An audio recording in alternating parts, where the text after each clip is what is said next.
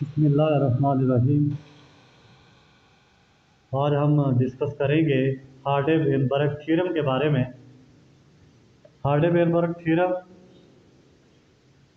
तो Hardy Weinberg theorem इसलिए कहते हैं हार्डे वेनबर्ग साइंटिस्ट था जिसने 1908 में इसके ऊपर वर्क किया।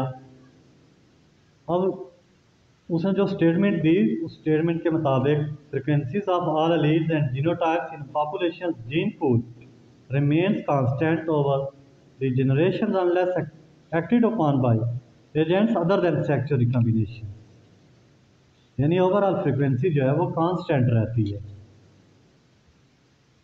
बेशक shuffling of alleles due to meiosis and random fertilisation has no effect on the overall genetic structure of population अब इसकी हम एग्ज़ाम्पल के साथ एक्सप्लेनेशन देखते हैं। एग्ज़ाम्पल के साथ डिस्क्राइब करते हैं इसको। तो प्लांट्स हम लेंगे इसके। Let us consider example check करें तो wild flower population with two varieties contrasting in flower colour एक पिंक फ्लावर्स हैं, जिनको सिंबलाइज किया जाता है बाय कैपिटल ए इस कम्प्लीटली डोमिनेंट है ठीक है? Over an allele for white flower जिनको सिम्बोलाइज किया जाता है, भाई small A suppose these are the only two alleles for this locus in the population हमारे पास इमेजिनरी पॉपुलेशन है 500 प्लांट्स की। हम 500 प्लांट्स को सपोज़ करते हैं। जिनमें से 20 प्लांट्स जो हैं वो वाइट फ्लावर्स के हैं, क्योंकि because they homozygous homozygous for recessive allele है। ठीक है? होमोजाइगस है। Their genotype is small A small A अब 500 में से 480 प्लांट्स जो है वो पिंक फ्लावर्स हैं।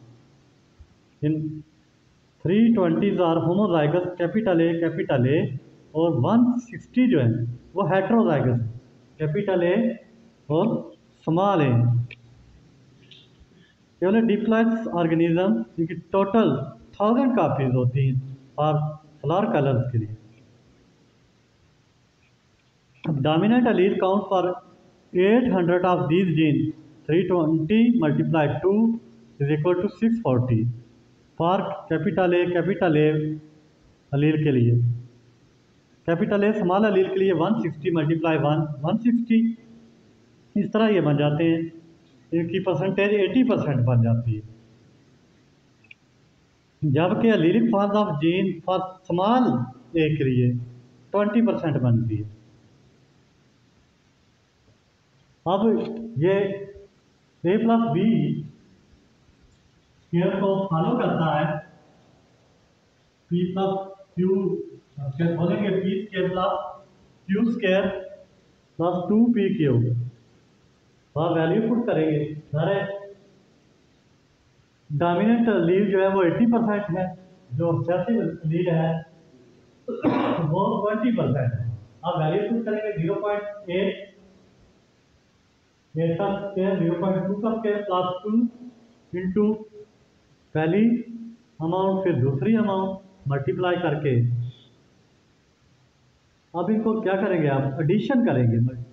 स्केयर ओपन करने के बाद स्केयर ओपन करके एडिशन करेंगे, जमा करेंगे तो इक्वल टू वन यानी main concept Hardy Weinberg theorem का यह है। जितने भी अज़ीज़ इसमें इन्वॉल्व होते हैं टोटली एग्रीगेशन करने के बाद जिंक पूल के अंदर कांस्टेंट होते हैं।